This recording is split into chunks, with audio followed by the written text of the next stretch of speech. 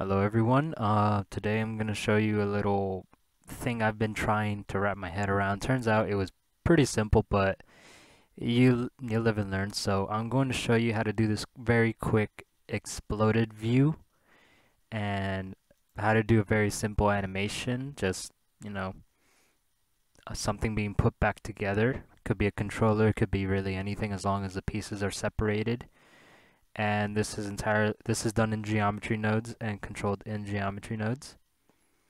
If we click here and go into the modifier, you see I animated the uh, keyframes on the uh, inputs here, and we see it just uh, it starts exploded, comes together. Uh, I'm going to show you guys how to control the different values of it, and so uh, let's get started.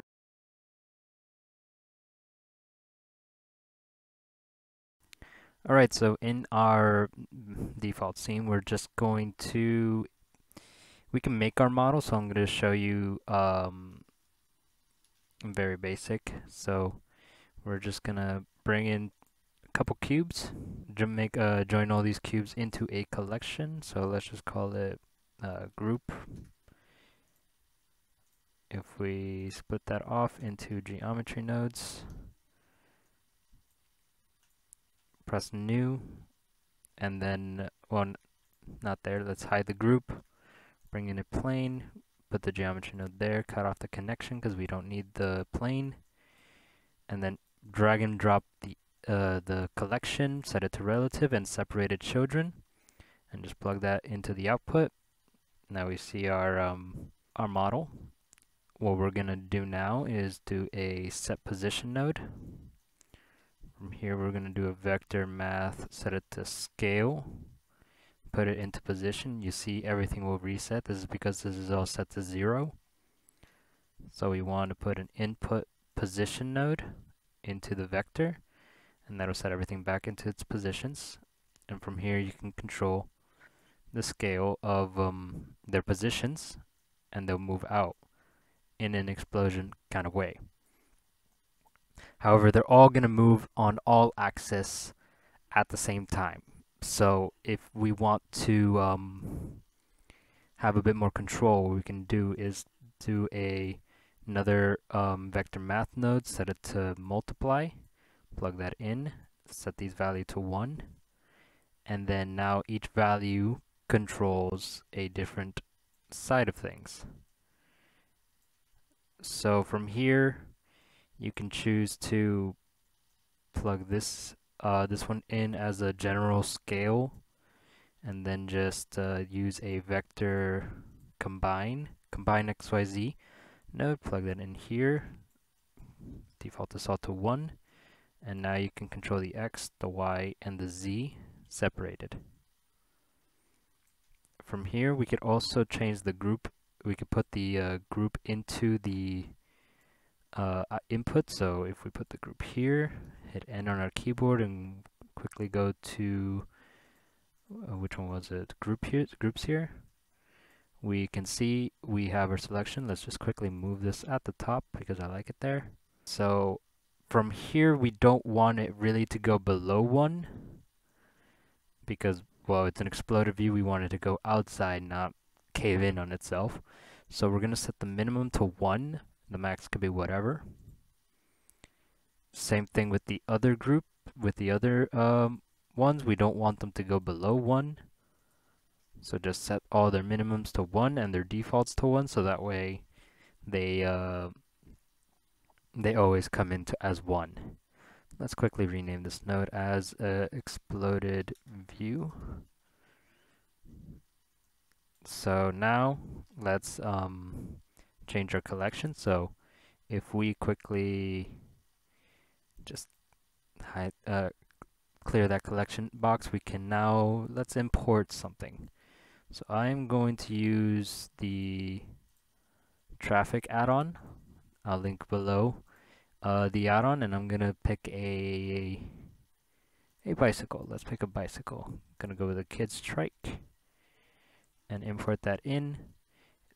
This comes with an empty, so we want to get rid of that. So just highlight everything, Alt P, clear parents and keep transform, and then just delete the empty. You see it separates our bikes into its pieces. However, we do need to reset their origin. So select them all, go to Object, Set Origin, Origin to Geometry, and all their origins will be reset.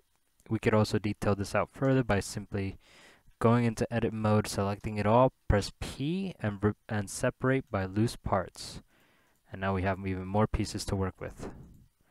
So if we once again set origin to, ge to the geometry so that everything has an origin, we now take the bicycle collection, which is conveniently made for us, and just place it in there, hide it here, and now we have an exploded view of our bicycle able to be controlled in different uh, areas. Same thing if you would do the same process if you were to bring uh, import a controller or import a um, just anything with separated parts. They all have to be separated parts, of course, in order for this to work. Uh, I'm sure there's another way to make it work. I have a couple of ideas, but this is just the way that I found how to make this, and it could definitely be expanded on. Another thing is you cannot move this um, by simple geometry nodes mean. You would have to move this using a um, another method. So what you can do is use a transform node inside of geometry node set that down and you can adjust the transform let's hide that towards what you need. Something you else you can do is if we simply make a uh, an empty let's put a cube because I think that'll fit. Let's size the cube to fit the bicycle a bit better. Okay that's good enough uh, now we can bring in that empty and use it its uh, location rotation and scale to transform the uh, the bicycle. Now it is a little bit jank here so you could just do a little vector math negative 0.5 on all sides. And just move it around maybe. Move it there so try to center it a little bit more so it makes more sense. I'm just eyeballing it. There we go. Now it's in the center of the cube. And now wherever we move the cube our bicycle moves you of course can just omit this entirely and just control it using uh, the transform itself, but I don't want that. Scale this up, scales up as well. So now I'm going to show you a little trick you could do to give every separate um to do like a little color thing, uh, color material with every separated part. So if we quickly make them a new material here. So let's call this instances. Uh, let's go into material. So let's go to uh, set material. Set this to instances. Let's quickly jump into the preview node. Uh, preview node, the preview view. And from here we see where we're seeing uh, just, you know, the simple gray. This We haven't done anything yet. Now let's go into geometry nodes. Not geometry nodes, into the shader editor. And uh, if we go into input, geometry, not, not, not that one, sorry, object info, we have this random box. So if we quickly cycle down all of them, we see each of them have a diff each object has a different shade of gray. This what this allows us to do is set a color ramp in between it. Set uh, switch from RGB to HSV or HSL. I'm not sure what they stand for, but if you start messing with the colors here, you see you get something cool. Start to play with the colors around, switching them about, change this to uh, far, and now we have colorful bike. We could just plug that straight into the uh, the surface, just as an emission. So yeah, uh, here that's how you color this uh, this bike to like show off different parts, and then you can control the explosion of it.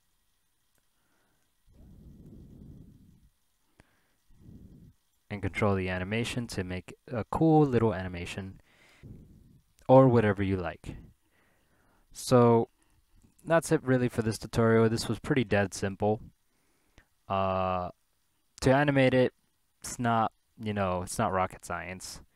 All you gotta do is, let's reset this all to 1. All you gotta do is set your keyframe. So on the beginning, I want the scale on everything to be at 1. At 50, I am going to explode this to around here. And just before I'm going to expand or yeah expand on the X and a bit on the Z. So what does that look like? Okay and then let's bring it back to 1 at the end there. Should cause a little bounce effect. Does need some tweaking so let's move that. And yeah you just mess around with it. I'm doing something quick to show you and then maybe we can uh, duplicate this last one place it over here in frame 100 so it slowly just pieces itself back together and that's it. So I hope you enjoyed this little tutorial. I know it was pretty simple and I've been uh, a little bit down, but that's because I'm planning a, I'm going on a trip relatively soon. If you enjoy, leave a like and subscribe, I guess, and uh, have fun.